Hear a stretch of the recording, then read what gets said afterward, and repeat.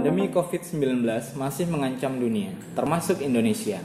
Oleh karena itu, kehadiran dan dukungan pemerintah sangat diperlukan untuk penyelamatan seperti di bidang kesehatan, meningkatkan daya beli masyarakat berupa bantuan sosial, dan mendukung dunia bisnis serta usaha untuk menciptakan lapangan kerja dan sebagai penggerak perekonomian.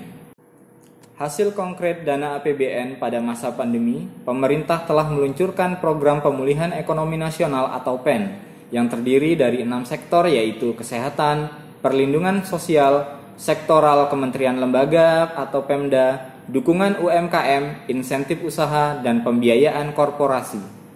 Pandemi seperti sebuah takdir yang tak bisa dihindari. Namun kebijakan dan langkah-langkah penyelamatan ekonomi dan keuangan adalah keniscayaan.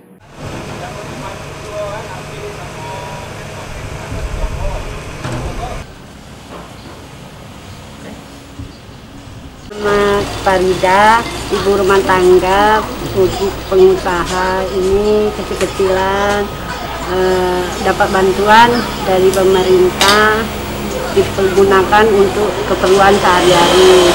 Ya, nama saya Meliwati. Saya bekerja penjual kue. Eh, Saya dapat kartu PKH ini dipercaya dari pemerintah untuk saya. Kebutuhan kebutuhan kartu PKH ini untuk saya sehari-hari. Saya tuh berterima kasih nian kepada pemerintah udah percaya sama saya megang kartu PKH ini. Terima kasih banyak pemerintah. Nama saya Ibu Nurbaiti, pekerjaan saya untuk dinas kebersihan.